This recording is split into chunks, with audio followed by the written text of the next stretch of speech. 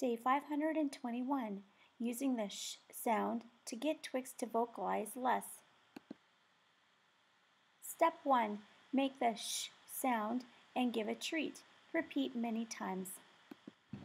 I want the sh to be positive and for Twix to know good things happen when he hears it.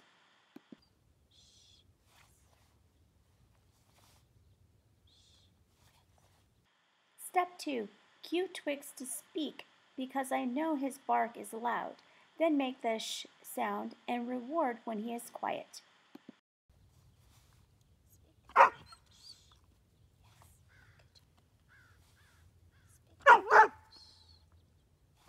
Good job.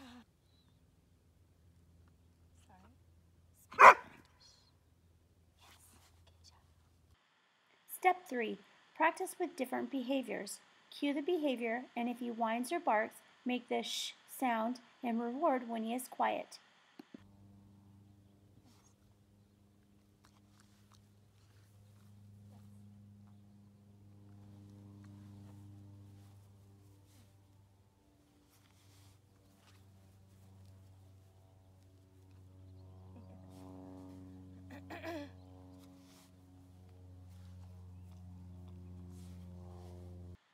Since I am working on him being quiet, I am decreasing my criteria for the tricks he is doing.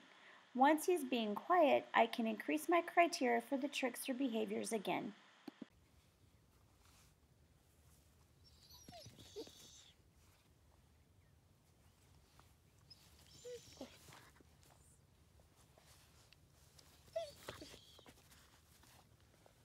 Step 4. Pairing the sh sound with touch. I am doing this because I want Twix to be able to calm down with my touch. It helps us be more connected.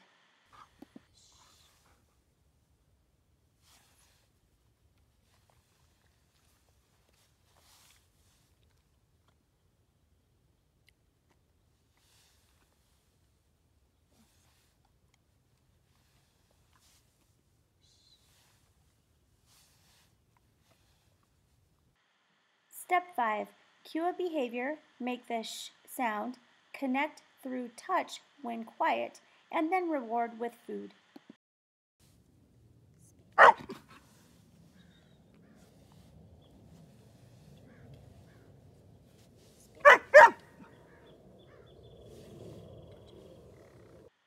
My goal is to teach Twix to be less vocal.